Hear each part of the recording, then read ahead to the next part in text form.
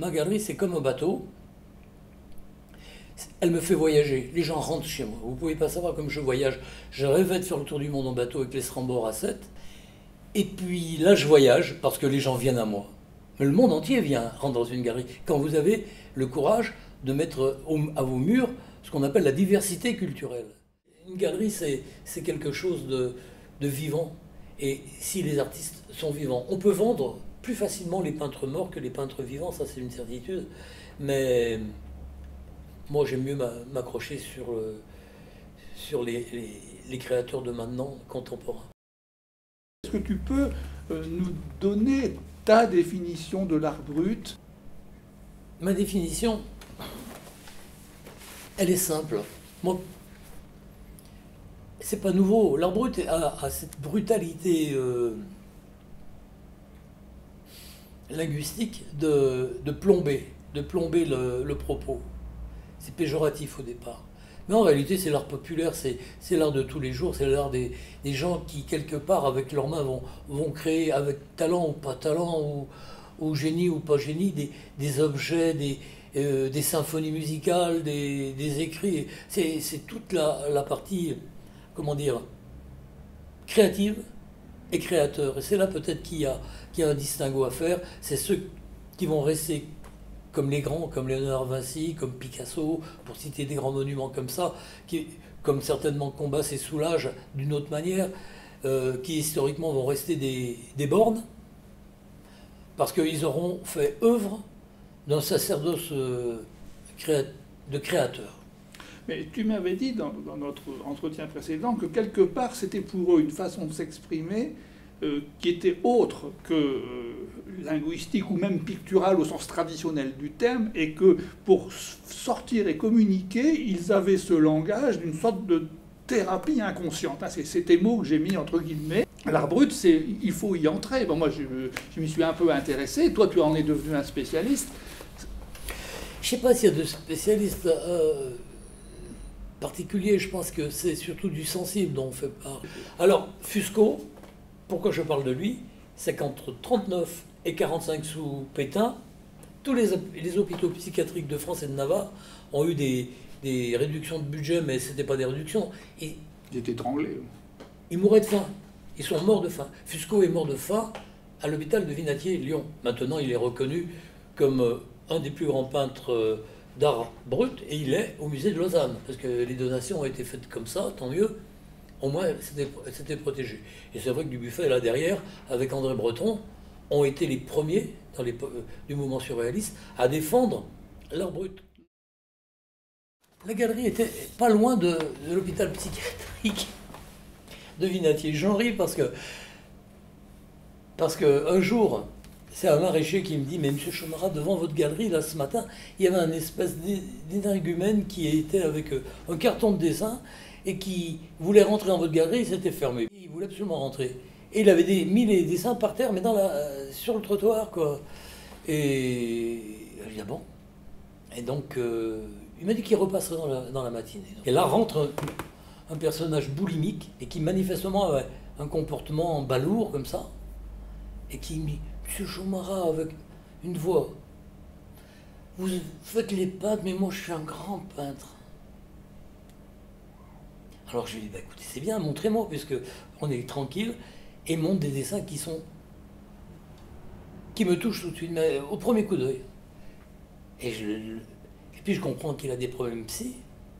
Du coup, on va en face, on avait un petit bistrot en face, il buvait pas d'alcool, mais il mange un petit bout avec moi, il mangeait bizarrement d'ailleurs, il en mettait de partout, je et je lui dis, mais je vais le nommer parce que c'est beaucoup plus simple. Il s'appelle Claude Ben Semoun. C'est un homme qui était dans l'internement psychiatrique, qui avait eu une agression terrible. Je l'ai su après. J'ai une toile, si je vous la montrais, bon, peu importe. Là, ça, ça me fait de la peine.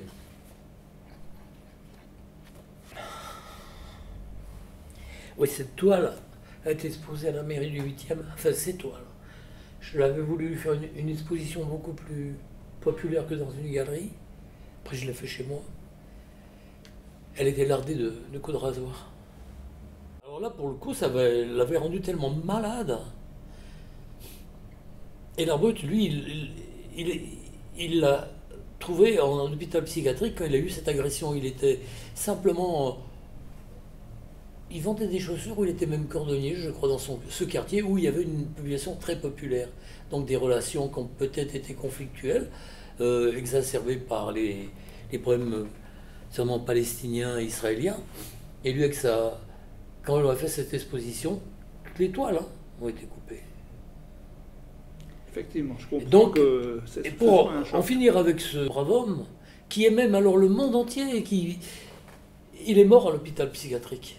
Un jour, les, les ministères de la Culture et autres veulent faire une très grande exposition autour de l'art brut. Parce que ça est devenu la panacée du 21e siècle. L'art brut, c'est c'est performant, ça prend de la, valeur, c'est. C'est tendance en ce moment. Hein. spéculatif au possible.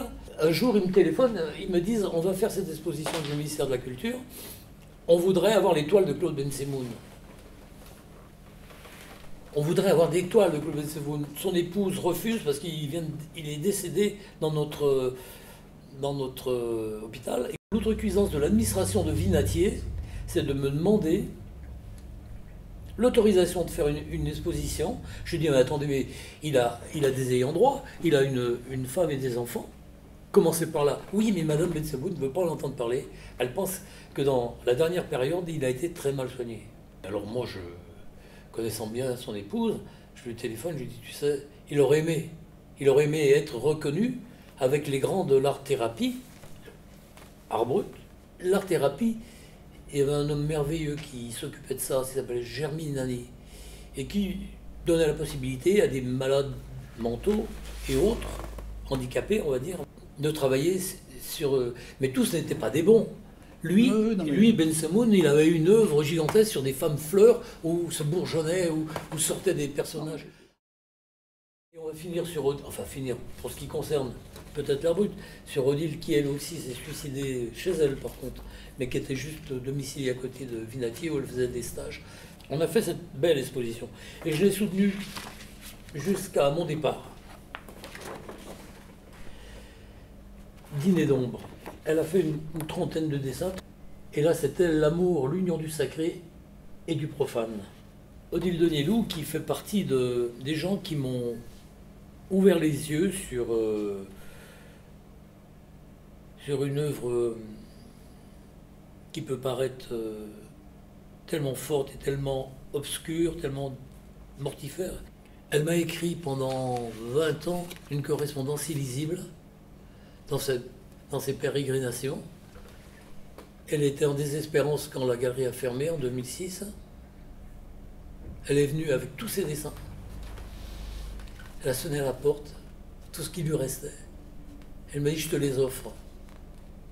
Moi, j'étais terriblement gêné avec Christine parce que je sentais que c'était dangereux pour elle de me les offrir de cette manière. Je lui dis Écoute, tu sais ce qu'on va faire On va demander à mon cousin Michel Chomara, qui lui a un silo. Ce qu'on appelle un silo, c'est toutes les, œuvres qui, sont une donation. Il fait une donation à la ville de Lyon de son vivant à charge à la médiathèque de, faire une exposition un jour. Tu fais une donation à la ville, par l'intermédiaire de la, médiathèque, mon cousin te.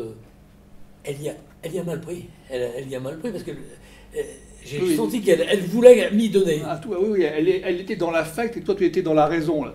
Et, moi, et moi, je voulais que ça se pérennise dans le temps. Je ne savais pas ce que j'allais devenir puisque j'étais en passe de fermer ma galerie. Ces dessins, elle les a tous détruits, euh, hormis certains que moi j'ai achetés, deux qui sont partis à, à Lausanne. Il y a encore une autre étape, c'est celle de 97. Toujours une biennale. Et c'était le thème, la thématique de l'autre. Moi, ça m'a passionné tout de suite.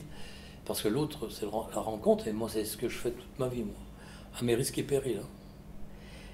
Et je lance cette idée, c'est comme ça que j'ai toujours participé. J'en sais une idée comme ça. Et puis, elle me revenait avec une foultitude de, de propositions. entre autres, j'avais la chance d'avoir un peintre corse, Dominique Liccia, qui est mon ami, et qui a une œuvre. Alors, je l'ai rencontré dans des circonstances particulières. Il est rentré à la galerie très énervé, je ne le connaissais pas. Mais, monsieur Chomara, je suis invité par la ville de Lyon. J'amène mes toiles. Alors, cet homme était très engagé. comme Corse. Et ces toiles ont été acceptées dans un pressbook et refusées lorsqu'ils les ont vues au mur. Par le collectif, collectif de peintres. Mhm. Alors je ne le connais pas. Il me regarde, il est énervé, il y avait sa femme.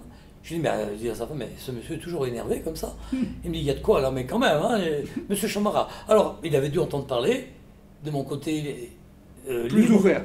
voilà, voilà. Et il met les tableaux au mur. Puis effectivement, ça, ça tenait la route. Je prends mon téléphone, j'avais une, une exposition de d'un jeune peintre que j'aime beaucoup, Schulz, Frédéric Schulz, d'origine euh, du Nord. des- Et je lui téléphone, c'est un tout jeune inconnu. Je lui dis, écoute, Frédéric, là j'ai un truc qui m'arrive. On va, on, va, donner une leçon à, la petite bourgeoisie lyonnaise, picturale. Est-ce que tu peux me laisser un pan de mur pour exposer trois toiles d'un escogriffe là, qui crie au milieu de la galerie euh, contre les Lyonnais pour le. Et puis, euh, j'ai mis ces trois toiles, trois ou quatre plus, très violentes, très fortes. Et on est devenus amis pour la vie. Pas parce que je lui ai mis trois toiles, Ah non, j'entends bien. parce qu'il est devenu, étiez rencontré quelque part avant. il est devenu un peintre très important, lui aussi. Et il est tout le temps dans son île, à l'île Rousse. Un homme extraordinaire, d'une générosité. Jean-Louis Renaudin, homme avec qui on a, on a créé le journal euh, Paplard, Tendance Paplard. Et, comme dirait l'autre, on a fait un tableau qui a, qui a sa petite valeur maintenant, moi que je n'ai pas gardé hein, parce que euh, parce que j'ai pas les moyens de me payer. C'est toujours pareil, moi je montais des, des, des lieux et des choses comme ça. Et j'ai eu euh, la rencontre de, de personnalités comme euh, Aznar. Alors, parle-nous d'Aznar, parce que tu m'en avais déjà parlé, et puis là, il apparaît seulement maintenant. Alors, développons un peu Aznar. Alors, c'est dans cette, dans cette biennale, où il y a une cinquantaine de, de personnes, de Aznar à Frédéric, Frédéric Olmo, qui est un grand photographe, parce qu'il y a les photographes aussi qui ont tourné autour de moi, et, et pour cause, et quelque part, j'ai des découvertes à ce niveau-là. Moi, ce qui a fait mon, mon succès, c'est que j'ai fait des peintres du monde entier. Et je pourrais donner toutes les... Là, il y a un Écossais, mais il y a eu euh, un peintre algérien, Kamel Yaimi, il y a eu un, un peintre marocain, il y a eu... Il y a eu des peintres africains, mais c'est moi le premier qui a fait les peintres africains, Youssouf Ba, qui a fait peintre géorgien, Agnan Croix-Julie, peintre argentin, Aznar. Aznar, c'est une amitié avec euh, un homme qui s'appelle Daniel Doublier, qui était sur Paris tous les deux. Ils avaient leur, lui était enseignant, euh, Daniel Doublier, et Aznar, il était exilé d'Argentine dans une période qui était dure. Et tous ces gens-là tournaient autour d'une thématique que j'avais rencontrée à Genève, dans un salon d'art, où eux étaient présents avec leur œuvre. Et tout de suite, ça m'avait plu. J'ai dit, on travaille ensemble d'une manière ou d'une autre. Et Hazard et Doublier avaient une thématique qui s'appelait le chaînon manquant dans l'histoire de l'art, en partant des, des premières euh, gravures rupestres, et que j'avais trouvé extraordinaire. Donc on est devenus amis, on a fait des expositions, il y a eu autour de ça aussi intégré à, cette mouvance un homme merveilleux qui s'appelle Macréo, qui est maintenant euh, un peintre dont on ne peut plus trouver les œuvres, moi je dois avoir un tout petit dessin, qui avait un talent euh, qui précédait Basquiat. Basquiat après l'a, l'a pas pompé, loin s'en faut, puisqu'il ne se connaissait pas, mais était dans cette mouvance, cette mouvance du 21e siècle. Mais Aznar aussi. Mais Aznar vient de disparaître. Alors c'est terrible ça. Il a disparu en 2006 et j'ai ah, pratiquement. C'est là où aussi j'ai eu un coup parce que je devais faire une rétrospective de Aznar. Et elle s'est pas faite à cause de son décès parce qu'après, l'œuvre s'est dissoute. Alors tous les amis de- du chaînon manquant disaient c'est à toi de la prendre, c'est à toi de l'acheter, c'est à toi. oui, à toi de l'acheter, j'aurais bien aimé, mais faut-il encore avoir les moyens? Et donc, euh, son œuvre a été dispatchée en salle de vente d'une manière euh, à l'encan, comme on dit? C'est bien dommage pour, pour sa mémoire.